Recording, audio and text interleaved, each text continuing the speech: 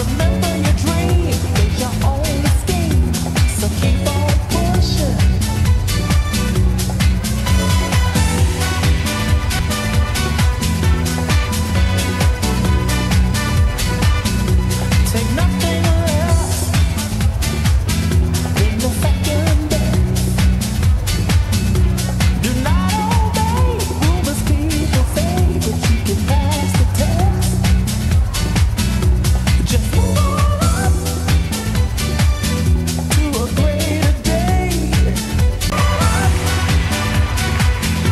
morning. Let me get everybody to come in and sit down. We're going to get started uh, almost immediately. First, let's uh, welcome our two other guests. Come on, Van. You all know Van Jones and Melissa Harris Perry.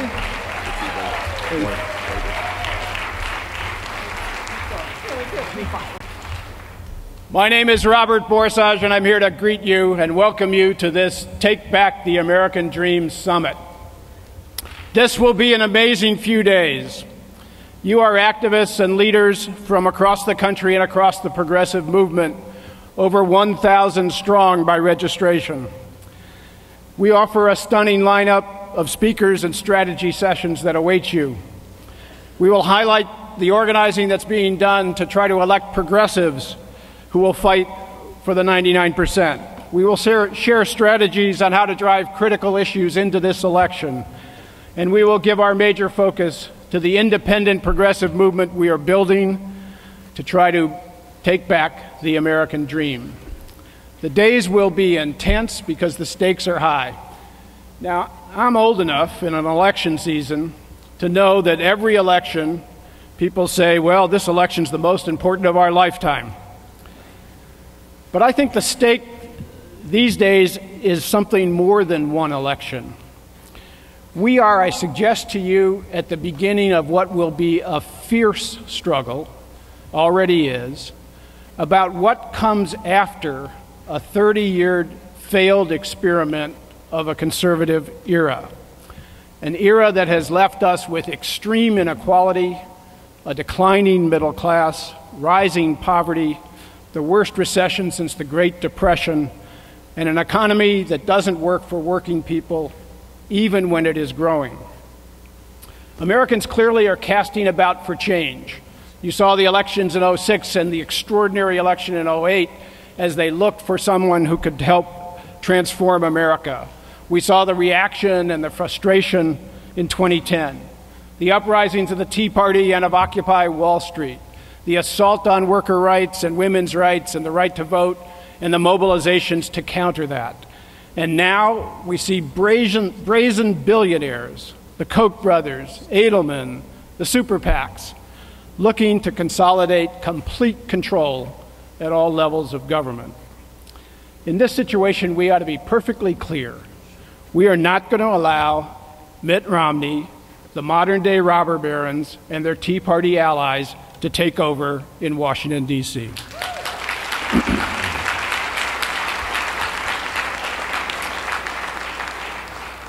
But we can't stop there. If we're going to build a foundation for shared prosperity, we can't accept mass unemployment as the new normal. We can't accept declining wages and increasing insecurity as inevitable.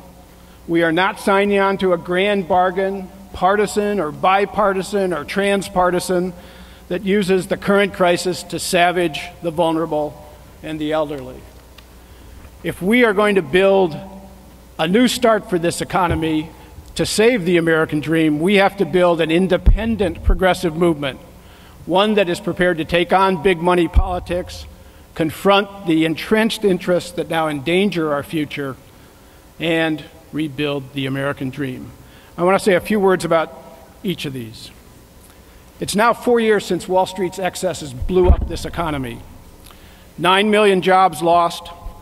The typical family lost a staggering 40% of their wealth, mostly in the declining value of homes. Any recovery from that kind of collapse would have been long and difficult. But this was made even more difficult by two major factors. First, there was no healthy economy to return to. Working families have been work, losing ground for decades. Over the Bush years, most Americans suffered declining incomes and rising insecurity, even when the economy was growing.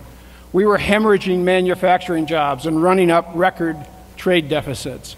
Finance was capturing 40% of corporate profits while inflating the housing bubble. We waged two wars on a national credit card. We were in denial about global warming. There was no place to recover to.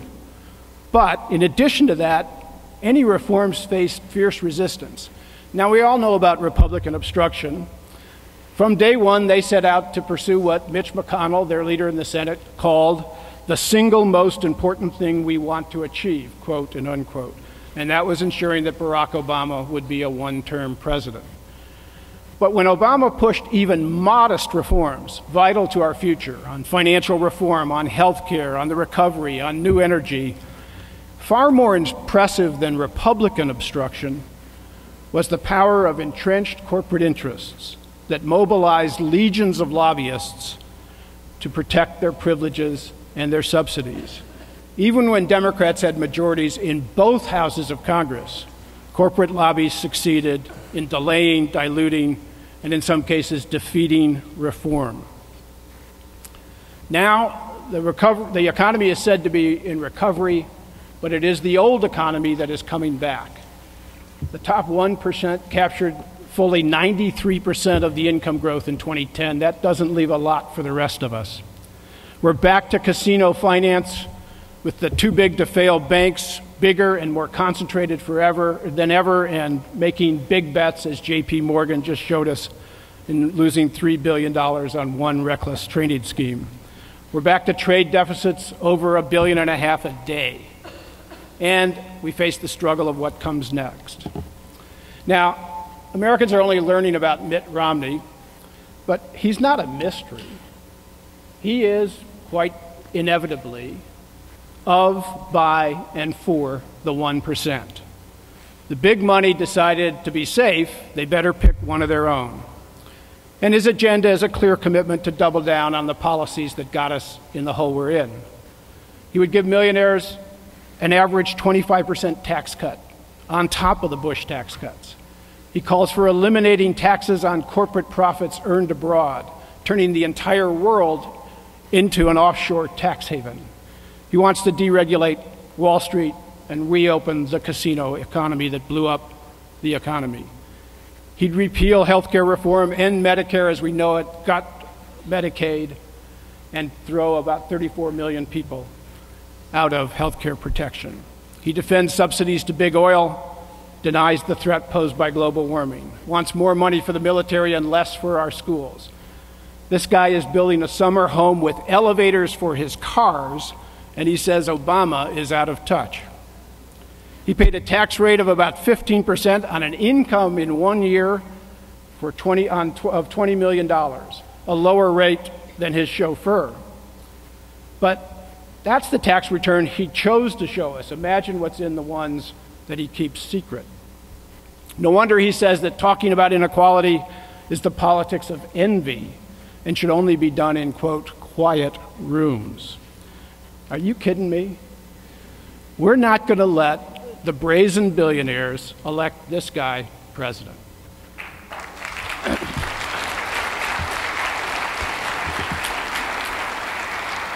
He's not offering a remedy, he's offering potions that are simply poison for the middle class and the American dream.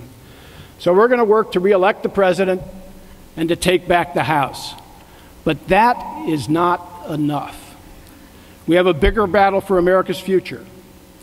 Conservative columnist David Brooks says that Republicans are extreme because they are fearful that the welfare state is unaffordable and it now threatens our future.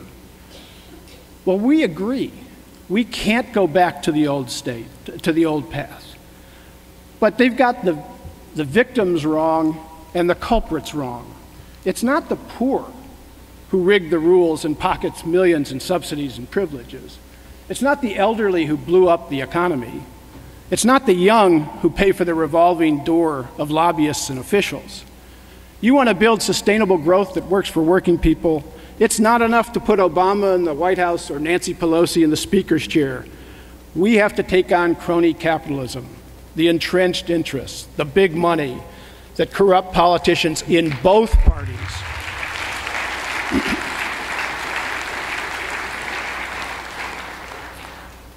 Look at the sources of our current debt. Half of our deficit comes from the economic collapse that came when Wall Street blew up the economy. Next comes the Bush tax cuts and tax loopholes that have millionaires paying lower taxes than their secretaries and big corporations paying no taxes at all in some cases. And then the continued costs of a bloated military and the two wars. Turn to the scary long term projections. You've all seen maps of them that make it look like America's going broke. These are entirely the question of soaring healthcare costs, an unaffordable healthcare system deformed by powerful health insurance, hospital, and drug companies, complexes that hike costs so that Americans pay twice per capita what other citizens in other industrial countries pay for worse healthcare results. To revive the American dream, we have to take on the powerful that profit from these arrangements, not the vulnerable who are their victims. So, this is not a question for one president, one election, one administration. We're about to head into what they call the grand bargain. I think. Uh, right after the election, we hit a fiscal train wreck purely made by the politicians in Washington, and it's being used as an excuse an excuse to cut a grand bargain. Shared sacrifices necessary, we're told. It's time to put our books in order. Let's do a big trade. Let's trade cuts in Social Security and Medicare for tax reform that lowers rates, closes loopholes, and gives us more revenue. This ought to be known instead of the grand bargain as the big heist.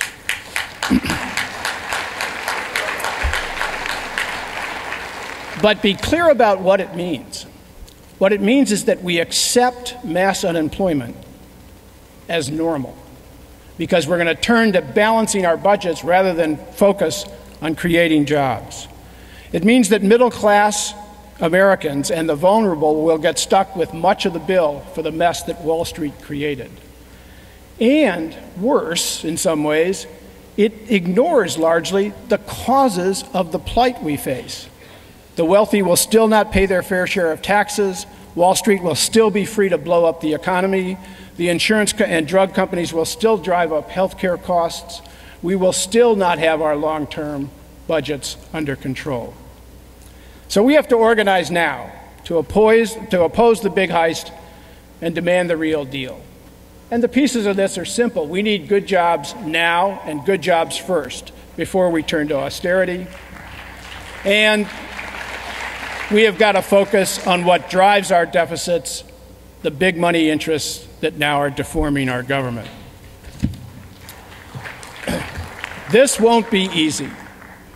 We have to build an independent capacity to elect people's champions and hold them accountable. We'll talk about that at this conference. We need to make big money toxic in this election, even as we work to overturn Citizens United and get money out of politics.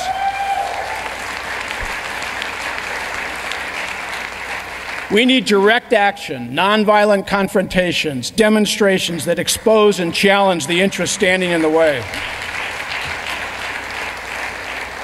This is a forbidding task.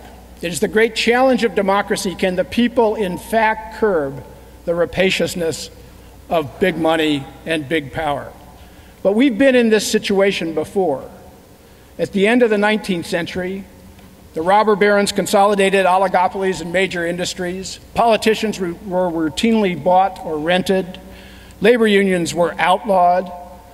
But populist movements, progressive reformers, labor uh, uprisings challenged the supremacy of that unassailable power. It took decades of struggle, but eventually that people's movement won. The extremes of inequality were reduced, the brazen corruption curbed, and what made America special, exceptional, the broad middle class was built. And now we are back to that same kind of inequality, that same kind of robber baron money politics. And once more, the test is posed. Can we, can the many, overcome the power of the few? And what's exciting is we've seen the first stirrings in Wisconsin and Ohio and Occupy Wall Street, which spread across the country like wildfire. we must continue to build, serious about taking power, serious about rebuilding the country, understanding we'll, we'll suffer setbacks, fierce in opposition to the modern robber baron politics, not satisfied with the defense of what is. Sure, we will try to work to defeat Romney and the right. We'll push to take back the House, but we will keep on building an independent movement to take back the American dream. That's our subject this week. That's our task for the years to come. We know it isn't going to be easy. We know it can be done. Si se puede. Yes, we can.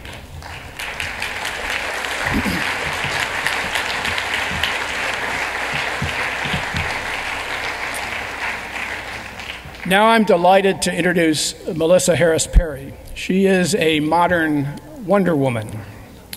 She is a Dr. Perry is, uh, is a professor of political science at Tulane University. She's the author of Sister Citizen Shame, Stereotypes, and Black Women in America. She's a regular columnist for The Nation magazine, and she's the host of her own show on, on MSNBC that airs on Saturday and Sunday mornings. She's the proud mother of a young daughter, and once a month or so, she gets a little sleep. It's a delight to introduce you to Melissa Harris Perry.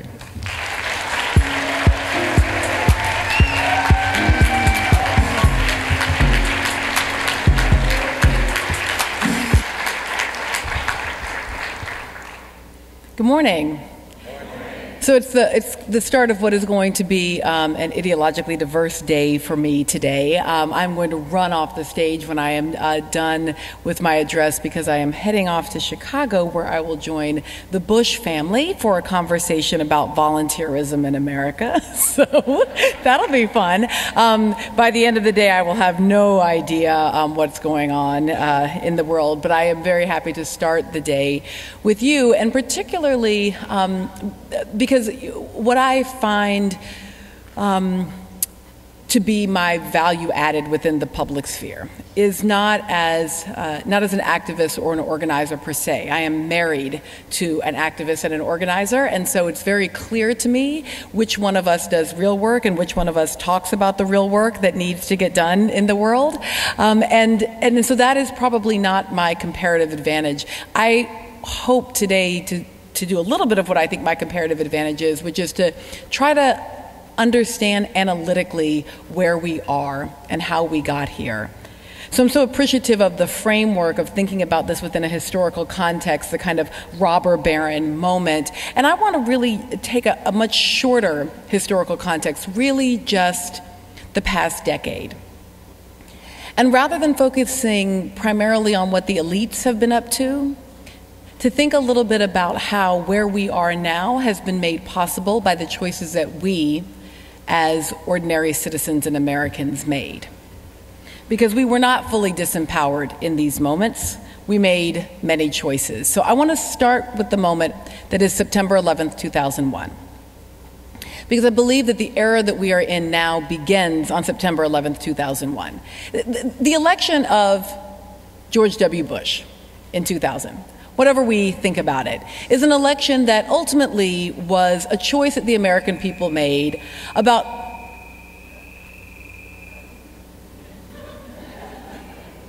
Okay, that's not okay. Okay, that's fine. That's that was all fine. I, I, had a little. I've been reading the Hunger Games. I suddenly thought I needed to duck or something. Okay. Um,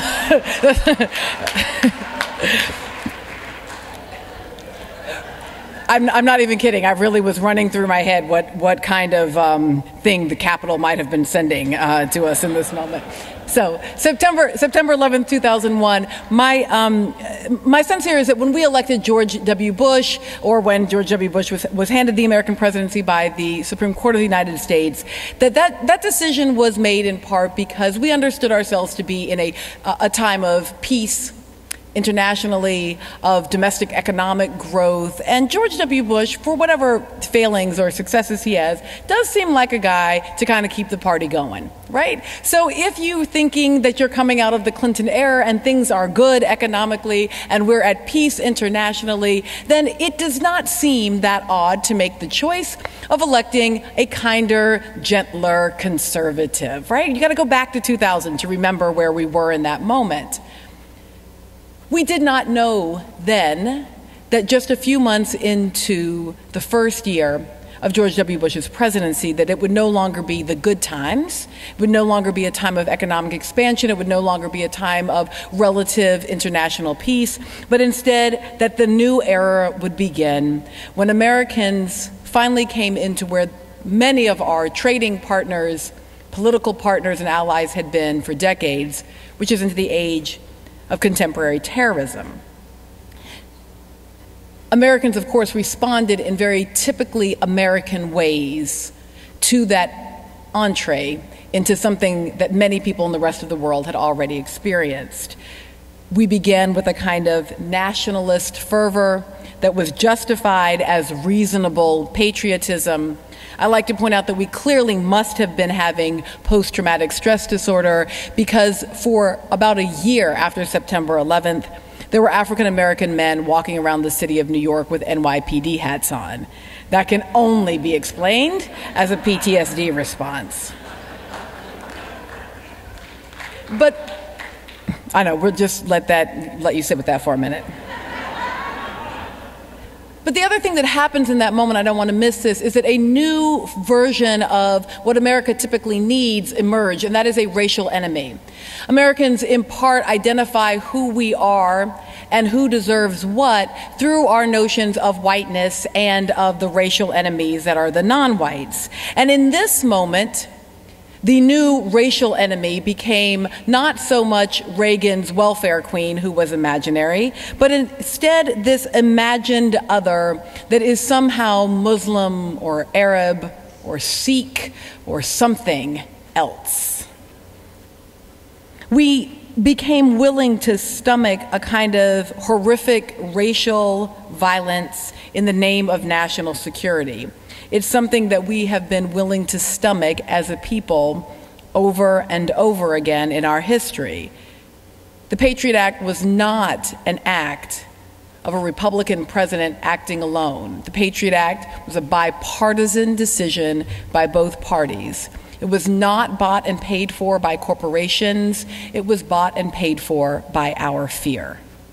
As much as we have our eyes on the Citizens United decision, we have to remember that it was our collective angst, maybe not the people in this room, but our collective angst that gave permission to Democrats in the House to rally behind Republicans in the White House under the banner of nationalist patriotic security with the goal of both reducing our domestic civil liberties and giving us an entrance into what is at this moment an everlasting war. We made those choices. So if that was September 11th, 2001, interesting thing happens a few years later. The Democrats need to run a presidential candidate. And it turns out Democrats are really very bad at one thing. Well, actually, a couple of things. But one, one thing in particular, and one of the things that we're very, very bad at, is trying to think about what kind of Democrat Republicans will vote for right? This is our like predictive ability thing. It's it's really the only reason that we ended up with um, candidate Obama is because we were in an open seat race, and so we didn't really know who we were running against. So we just got all like free with our actual preferences and ended up with Hillary Clinton and Barack Obama as our final two. We never would have made those choices had we been running against an incumbent. We undoubtedly would have picked John Edwards. Let's just be honest about that. But in 2004, we chose what we thought would be the good moderate candidate one that would get Republican votes, and that, of course, was John Kerry, who showed up at the 2004 DNC and saluted and said, reporting for duty. We did not, in the fall of 2004, launch as a Democratic Party an attempt to push back against the war effort. Quite the opposite. Democrats decided to run a soldier under the banner, under the idea that he could do even better at the war machine. So, what changed that? What changed it? August 29, 2005. August 29, 2005 is the day that the levees failed in the city of New Orleans in the aftermath of Hurricane Katrina. Maybe it's actually not that day because on that day and on the five subsequent days immediately after the levees failed and the city flooded, we behaved just as we did in the immediate post 9 11 moment. We got scared of our racial enemies. The governor of Louisiana, a Democrat, the mayor of the city of New Orleans, a black Democrat, jointly decided to suspend search and rescue efforts in order to focus on law and order. Until, until the national media recognized that there were people, not people actually, women, elderly, and children starving and dying in the city center. It wasn't until the images of African American women, the elderly, and children who were dehydrating in the heat of a New Orleans August finally turned the language away from this kind of law and order language and into what the economists called the shaming of America. I don't know if you remember this, but I'm looking at the image right now that if I'd gotten myself together, I would have put up as a PowerPoint. But it's the image of The Economist magazine the second week of September 2005, an African American woman is on the cover. She's wearing a New Orleans t shirt, and it says, The Shaming of America. I'd like you to pause and ask yourself how many black women have appeared on the cover of The Economist magazine? And I don't know her name. I live in New Orleans. I study Katrina, and I don't know her name. And yet, there are very, very few black women who ever have appeared. She may be, maybe Condi, ever, maybe. And yet, the notion that there was still a collective shaming that happens in a country that fancies itself a place where women and children are first, Hurricane Katrina actually shames us into an anti war stance. And here's how it goes from September 11th, 2001 until about September 4th, I'm going to give it, of 2005, we are trying to participate in the nationalist patriotic fervor against the imagined racial enemy that is those others over there that are activating terrorism against us. Right until the levees fail, we realize that we've allowed our own citizens to drown, to die, and to dehydrate on camera. And we go, oh, if you can't get a water to an American city for a week, how can you prosecute a foreign war? And the Democratic Party feels a little steel drop down its spine. All these media folks who live in New York City who realize that if this is how we respond to disasters, they're screwed. And for the first time, we start hearing an active anti war message, not from the people, but from the people that is then resonated up through a left party. This, of course, is how, in 2006, Democrats win back the House. They win the House in 2006 because for the first time they articulate an actual paradigm difference to the Republican Party for the first time in five years. And we, of course, we remember the response to the anti war message that won the midterm elections in 2006. You guys remember what happened? The surge. Right? The response to the American people saying, we want out of the war, is that the White House sent more soldiers into the war. It is exactly the opposite of what happens in 2010 when, by taking over the House, the Republican Party decides that it has a mandate from the American people to turn back what they had just done in 2008. This White House in 2006 told us we don't care what just happened in the midterms, we are running this war effort. And we let them. Except that Of course, we know what happened then, right after that. He's a young guy. He was a state senator in Illinois. He'd managed to make it in to the US Senate really only because the Republican Party in Illinois was in such shambles that their decision for a candidate to run against him was Alan Keyes. And on a Wednesday, I could probably beat Alan Keyes for almost any race. Now, this is not to say that State Senator Barack Obama is anything short of exceptional, but the ease with which he walked into the U.S. Senate had everything to do with the failures of Judy Baar and the Illinois Republican Party. Thanks, Judy. We appreciate that. In the immediate aftermath of Hurricane Katrina, the national figure that emerges is Barack Obama on one hand, Hillary Clinton on the other, and a sense among the American people that what we had just done and what we had been doing since 2001 was not the best of who we were, that we were capable of something else.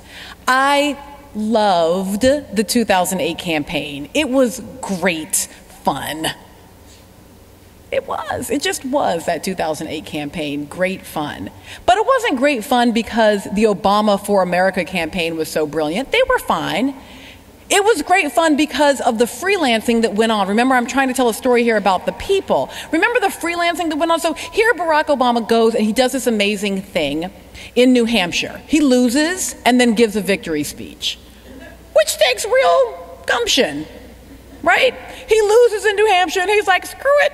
I'm going to give Yes We Can anyway, right? Stands up and gives Yes We Can. It's an amazing moment. Everyone's like, wow, that, that's hot. And then we walk away until a week later, and what happens? will.i.am remixes Yes We Can. When you think about why Yes We Can matters, it's not because of Barack Obama giving it, as great as it was. It's because will.i.am remixed it, and then you posted it on your Facebook wall, and then you sent it around, and then you emailed it, and then it became viral.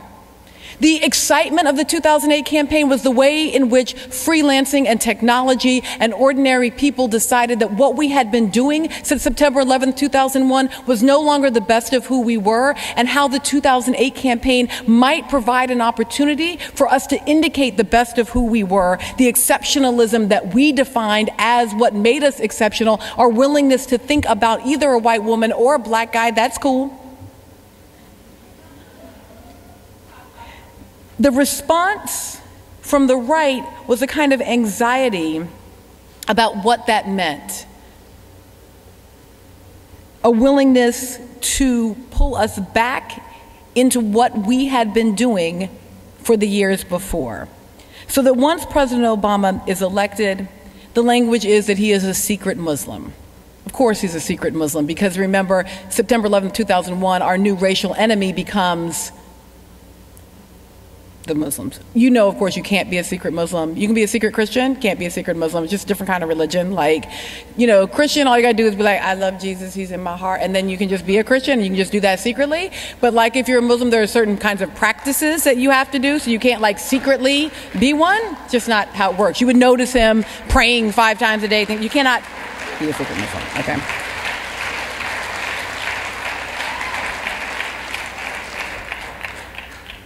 But along with that anxiety around this kind of secret outsider, and I'm, um, I'll go very quickly here, I promise, there's also a revival of the anti immigrant panic. And we are as much on the left to blame for failing to recognize and stem this at the moment that it occurred. Do you remember the Joe Wilson moment? President Obama speaking, Joe Wilson stands up and says, You lie. The, the left freaks out. It's racism. Black man speaking, white guy from former Confederate state says you lie, white black man speaking, that looks like ordinary old fashioned racism. But don't forget this President Obama, when he was speaking in that moment, was talking about the health care reform bill, and he said, When this passes, don't worry, illegals will not be allowed to partake in the health care reform that we are passing. And then Joe Wilson stood up and said, You lie. So the president was in that moment actually drawing a bright line, a boundary between citizens and non citizens on this issue of a fundamental human right, healthcare reform, before Joe Wilson stands up and says you lie. So the, the terrain there is multiple levels. Yes, there's probably some of that old fashioned Jim Crow racism, but there's also this brand new anti immigration panic. Notice that this week, when the president was again interrupted by a journalist in the Rose Garden, that that interruption came when he was talking about immigration. That laying on of our anxieties is about this new fear, this old fear, and mixed together with American racism. But then, of course, there's plenty of old fashioned American racism going on still among us as people. Again, not talking about the elites, but the shoot to kill laws that took Trayvon Martin's life are the same shoot to kill laws that were enacted in the days immediately following Hurricane Katrina, that are based in our same great fear that emerged immediately post September 11th. This kind of vilification of bodies that we assume to be criminal. Lay on top of all of that the war on women, a war on women that I noticed was occurring for the first, I wasn't sure it was coming, but I started seeing it when President Obama nominated Sonia Sotomayor to the Supreme Court.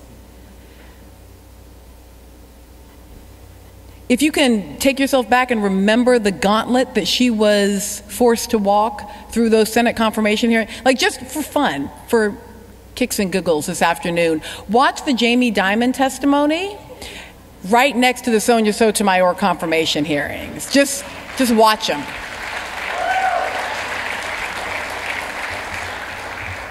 right after Sonia Sotomayor was put through what I like to call a kind of Elizabeth Eckford moment. Remember, Elizabeth Eckford is the girl, the teenage girl who was forced to walk that gauntlet in Little Rock with the screaming, yelling faces behind her, so much like what I saw when I was watching Sonia Sotomayor. Right after that, we then have the vilification of Shirley Sherrod.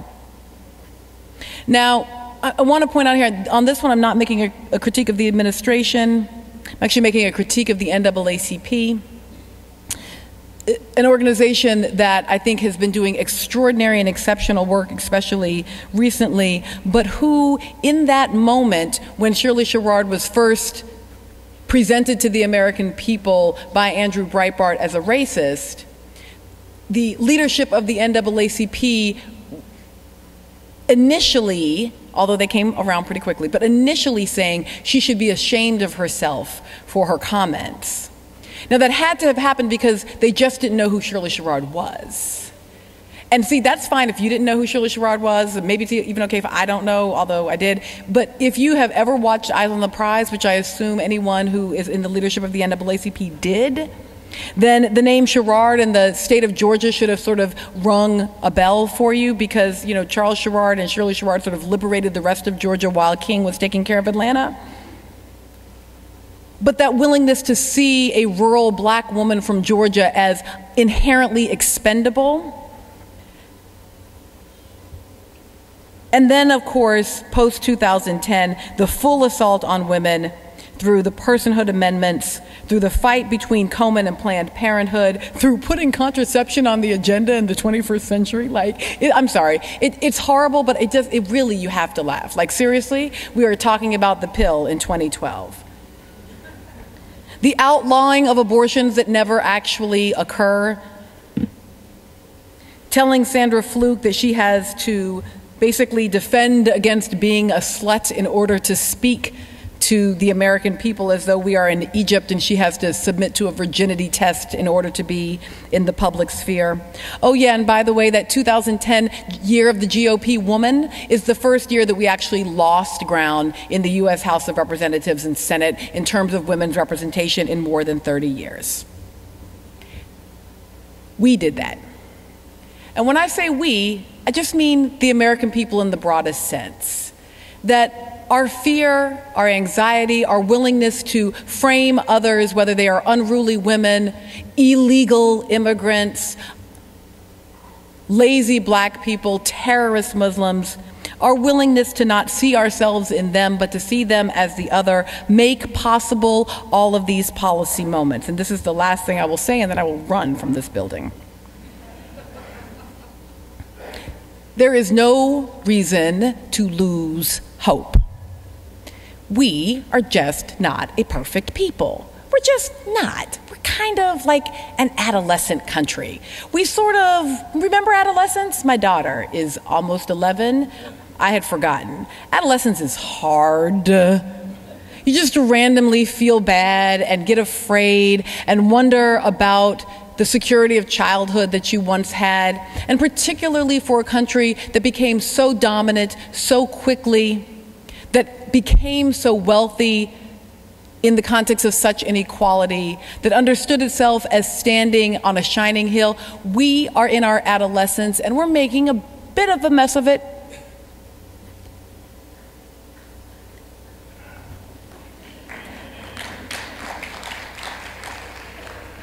That said, there is no reason to lose hope.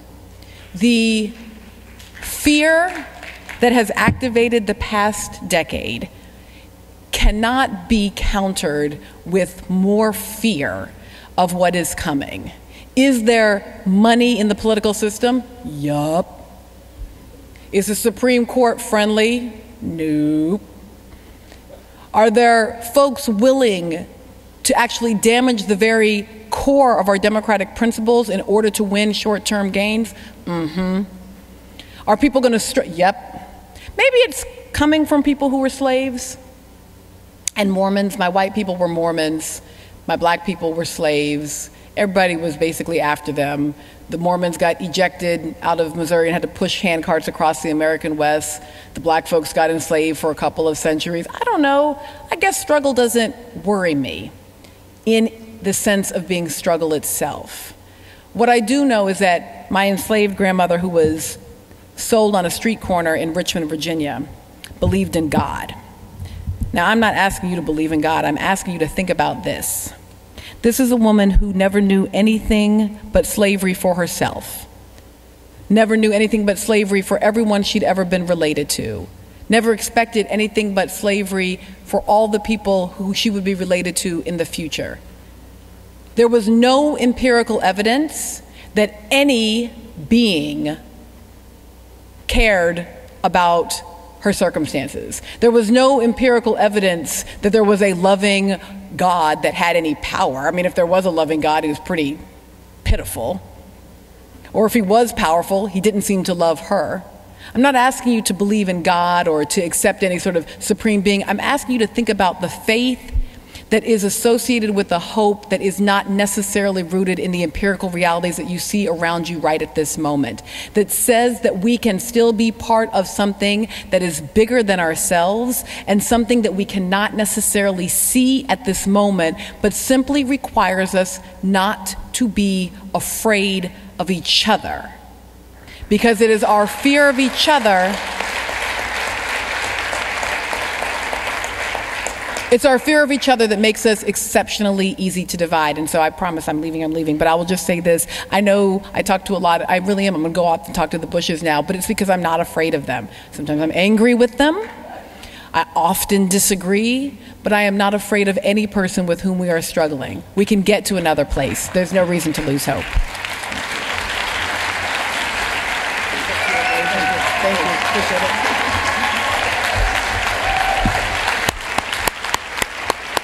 Melissa Harris Perry.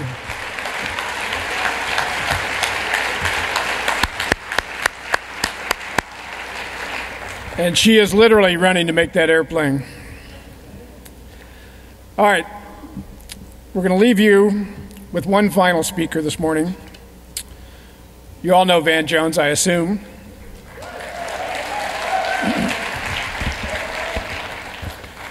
He's a uh, public school boy grew up to be a graduate of Yale Law School. But I, like to tease him and tell him that he rose above it. He's the co founder of the Ella Baker Center for Human Rights, co founder of Color for Change, co founder for Green for All. We joined him in launching his new venture, Rebuild the American Dream, an extraordinary, innovative effort to restore good jobs and economic opportunity and to build the movement necessary to make that happen. He has neither amassed a great personal fortune He has not held an elected public office, and yet Time magazine has named him one of the world's 100 most influential people. Give it up for Van Jones.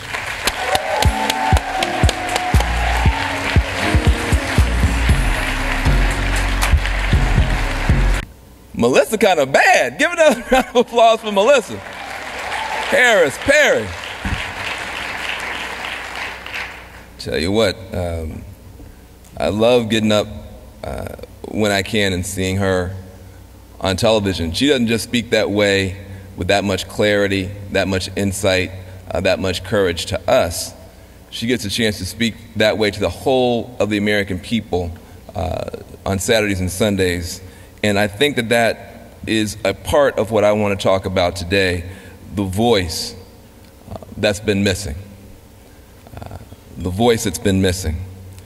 Um, Rodney King uh, passed away over this weekend.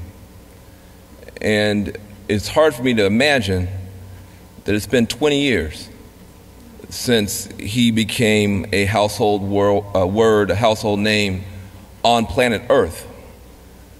Just a regular brother with a lot of regular brother problems and regular brother issues, uh, put in a situation, unfortunately, that's all too common. The only difference was it was caught on camera. We know what happened with the verdicts, we know what happened with the uprising, but we sometimes don't think about what it must have been like for him to get pushed out in front of television cameras, uh, no speech in hand, no pollsters, uh, with the whole world watching, and to have to speak from his true heart. A lot of things about his life that uh, you could easily dismiss him and discount him for, but in those moments, who you really are comes through. And he just said five words. And they're the same five words that I think uh, Melissa tries to bring us back around to. Can we all get along?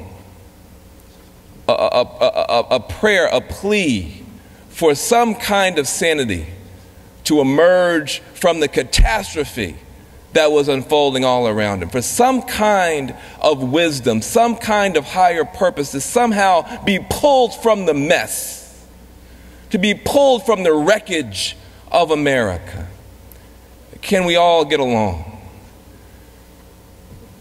He went on with his life. He did good things, he did bad things, he did things he regretted, and he passed away. But I think his question still resounds can we all get along? We have this extraordinary moment now as we look at November and the months beyond. Who are we as a country in this mess, in this catastrophe? Are we going to turn to each other or are we going to turn on each other? That is a great moment, the great question that the world is now looking at us to answer. And I appreciate uh, Dr. Perry for pointing out that it's not just about the corporations, it's about us here in this room. So we have a responsibility. Uh, some people felt uh, that uh, four years ago we were too emotional. We made decisions too emotionally. Uh, and then we, we just got a little bit dope on hope or whatever. We got doped up on the hopey stuff and we just got too hopey and we got too emotional and we weren't thinking clearly. And so we want to have a reaction against that. And now it seems that uh, I'm watching as this moment of testing for America uh, emerges in this year. I'm seeing the people who fought the hardest uh, in the decade that Dr. Perry just talked about now fighting the least. I'm seeing a movement that was built up over that decade that stood up against Bush, that stood up against Rove, that stood up against Cheney, that stood up against torture, that stood up against war, that stood up for the people in, who were suffering in Katrina, who saw African American mothers and grandmothers on rooftops, and whose hearts were broken to see people drowning, to see an American city drowning, and who stood up at that time when there was nothing in Washington, D.C. that would answer the call and who insisted that we go in a better way. I'm watching that movement that broke the back of Karl Rove's Stranglehold on our Congress, who elected the first African American president. I'm watching that movement that inspired the world, that shocked the world, that stunned the world. In the moment of maximum peril now, sit down. There are people in this country who are drowning on dry land. They're drowning economically on dry land. They need a movement that is willing to stand with them. And yet, and yet, there is this reluctance. We saw in Wisconsin what happens when we put our minimum against our opponent's maximum. Uh, the people in Wisconsin fought be- beautifully and bravely, but help was not on the way. They had to fight against 13 billionaires. Not just the people about the Koch brothers, no, they like the, the, the Koch basketball team. I mean, a whole squadron of billionaires, only one of whom lived in Wisconsin. Our opponents did their maximum. Most of us did our minimum. And we saw what happened. So there's a question now that falls upon this conference. Are we going to let the Tea Party govern America? Is that the kind of movement that we are? Can we not find some lessons from 2008 and 2010 that would let us move forward together? Smarter, tougher, wiser, but more determined and more committed. That innocent people, whether they be the Rodney Kings of today, like Trayvon, who are victimized by racial violence, won't have to fight alone. And that the, those of us across the country who are suffering economically will not be further harmed by the outcome of the two big fights in 2012. In November, politically, in December, economically on the budget. Well, in order for us to figure out what we're going to do, we're going to have to do something I was taught to do when I was in public school. I got some education, as you mentioned. Uh, I get credit for having gone to Yale, that's true. Uh, but I wasn't born at Yale. I was born on the edge of a small town in rural West Tennessee. Uh, both my parents were public school teachers. And I had a public school teacher named Miss Brown, who was my kindergarten teacher. And whenever we were stumped, whenever she'd ask us a question that was just too hard to answer, she would say, Well, now, put your thinking caps on. Did you guys have those have thinking caps in the budget in your public schools? And we would put them on.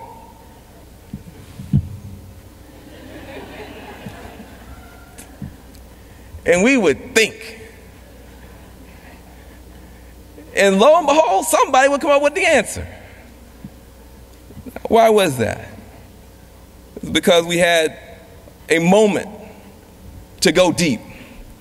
Uh, and we had a public school teacher who cared. And I'm going to say this before I move on.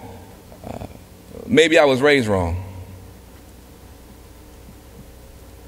But in my community, in my neighborhood, in my home, I was never taught about any threat to me called the public employee.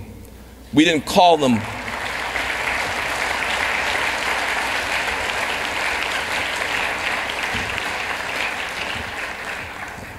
We didn't call them public employees.